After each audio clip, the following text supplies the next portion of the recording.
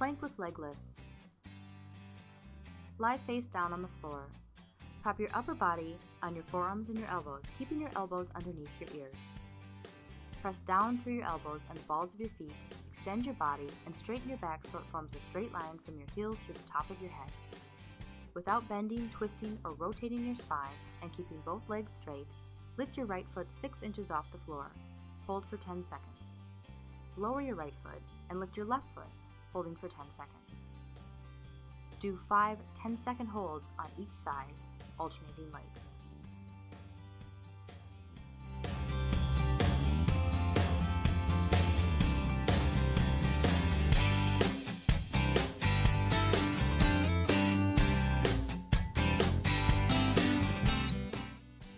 Swiss Ball Dead Bug.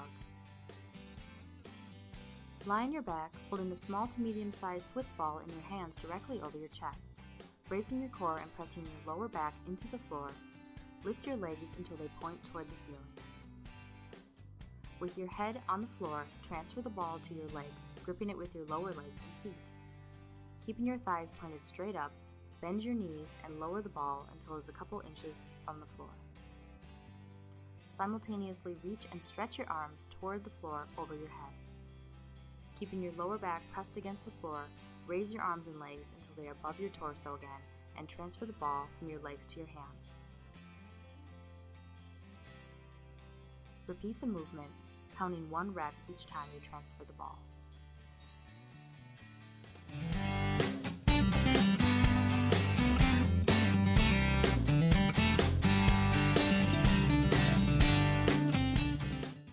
Swiss ball pike up.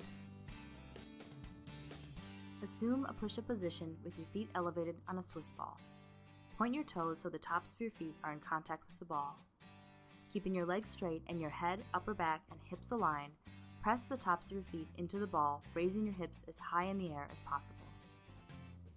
Reverse the movement and lower your hips until you're again in a push up position, and repeat.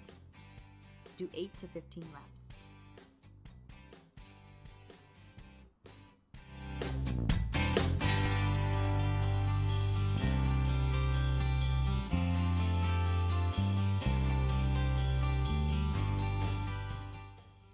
Rope crunch. Select a moderately heavy weight on a cable machine and affix a rope attachment to the high pulley.